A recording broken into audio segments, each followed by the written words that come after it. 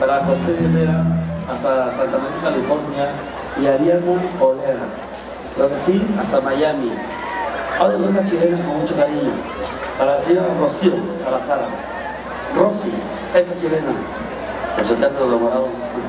Y dice.